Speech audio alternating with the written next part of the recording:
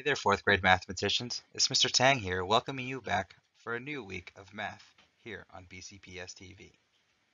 Our lessons for this week focus on a three-read strategy to help us with problem solving. Luckily for all of you, one of my good friends, the amazing Miss Hilberg, joins us as we dive deeper into lesson one for the week of June 8th to June 12th. Take it away, Miss Hilberg. Today we will make sense of problems by using the three-read strategy to solve real-world problems involving area and perimeter. The three-read strategy involves five steps to help you make sense of and solve problems. Step 1. Read to make sense. Step 2. Read for details. Step 3. Read to represent. Step 4. Solve the problem. Step 5. Check your work. This organizer can be used to help you organize your thinking. Our first step is to read to make sense. As I read the problem, think about these questions. What is happening in the problem? How would you describe it in your own words? And what questions do you still have about the problem? Ginny wants the new library to have a large bulletin board in the entrance to display upcoming library events. The bulletin board measures something. She wants to determine how many square feet of paper will be needed to cover the bulletin board and how many feet of border will be needed to put a border around the edge of the bulletin board.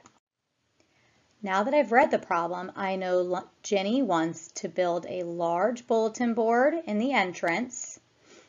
She wants to find out how many square feet of paper will cover the bulletin board. And she also wants to figure out how many feet of border will go around the edge of the bulletin board. In my organizer, I'm going to draw a quick sketch to show what I'm visualizing. I see a bulletin board that is covered in paper and also has a border. It has dimensions, but I don't know what they are yet. Next, we are going to read for details. We need to think about what the numbers represent. We also need to think about the problem structure, so we can think about what mathematics we might use to solve the problem. We can look for vocabulary or important information that's shown in graphs or charts. As you reread, you can put a star next to parts of the problem that you understand or have information that's important for solving the problem. You could use a question mark to note any parts of the problem that you're confused about or have questions about. As I reread, look for the important details. Ginny wants the new library to have a large bulletin board in the entrance to display upcoming library events. The bulletin board measures 8 feet long by 4 feet wide. She wants to determine how many square feet of paper will be needed to cover the bulletin board and how many feet of border will be needed to put a border around the edge of the bulletin board. What details did you find? We now know the dimensions of the bulletin board. It will be 8 feet long by 4 feet wide. I also know that Ginny wants to know how many square feet will cover the bulletin board. When I want to cover a space, I need to know the area of the space. And it is measured in square units, like square feet. Ginny also wants to know how many feet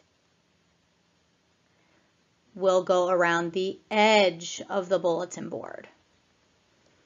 When I want to measure the distance around a space, I am looking for the perimeter, which is measured in units, like feet. Now I know the dimensions of my bulletin board. It will be 8 feet by 4 feet. I want to find the area, which is the space inside, and I want to find the perimeter, which is the distance around the space.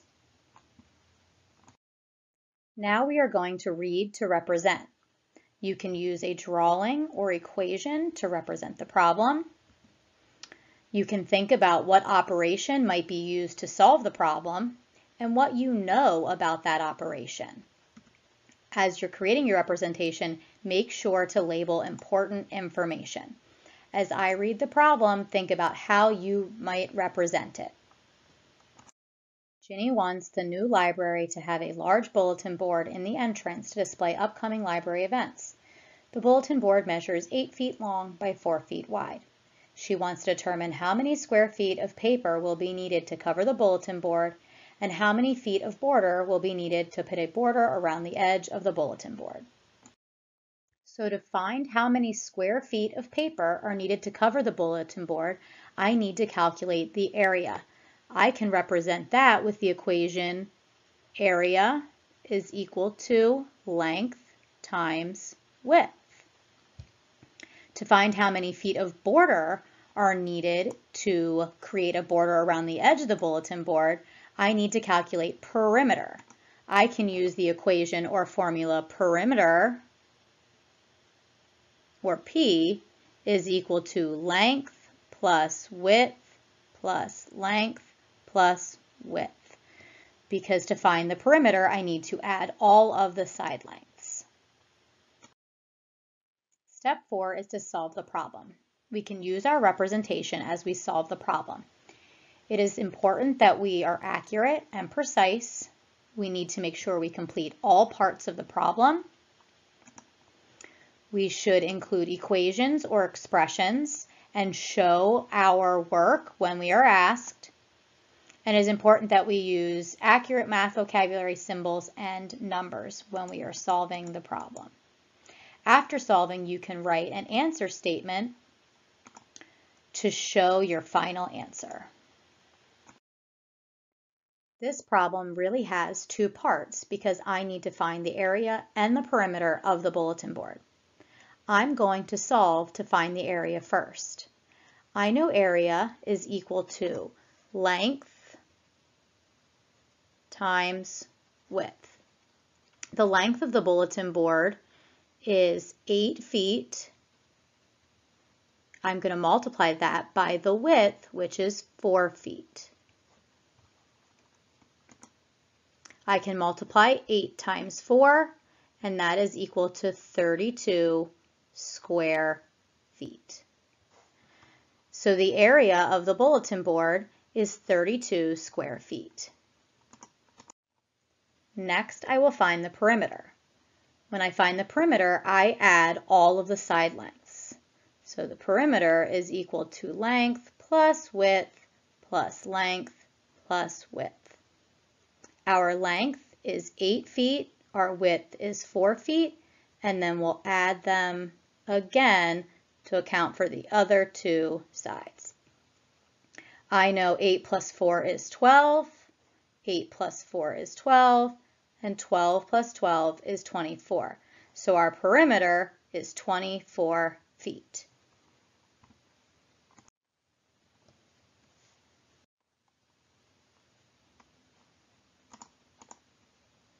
So Jenny will need 32 square feet of paper and 24 feet of border for her bulletin board. Our final step is to check our work. We can reread the problem and our answer to make sure that we used information from the problem to solve, that our answer makes sense, and that we answered all parts of the problem. The problem included two parts and I answered both by finding the area and perimeter of the bulletin board. I can use estimation to check the reasonableness of my answer, or another strategy. For area, I can think of 10 times 4 because 10 is close to 8. 10 times 4 is 40, which is close to my answer of 32 square feet, so that is reasonable. To check the answer I got for the perimeter, I'm going to use a different formula. You can also find perimeter using the formula 2 times the length plus 2 times the width.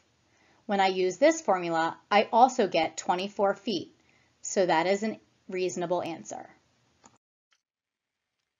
That was awesome, Ms. Hilberg. I can safely say I feel like I learned something today. Well, boys and girls, now it's your turn. In the Try It section in your Schoology page, you'll be prompted to complete an assignment that your teacher should have assigned to you. There, you will find similar questions to those that we reviewed today. For these questions, you can use your finger or touchpad to draw inside the box to show your mathematical thinking. Be sure to take your time, read all your directions carefully, and show all your work. When you're feeling confident and ready, move on to the formative assessment portion of the lesson found in the Show What You Know section in Schoology. This will prompt you to complete the next assignment that your teacher should have assigned to you. Read the directions and prompts carefully, maybe even a minimum of three times. Hint, hint. Take your time and make sure you show all your work. Well, boys and girls, that's it from us for this week. And on behalf of your friends here at BCPS Math, we want you to know that you are so loved, that you are so important, and that you hold the future in your hands. So stay safe, be kind, and do the math.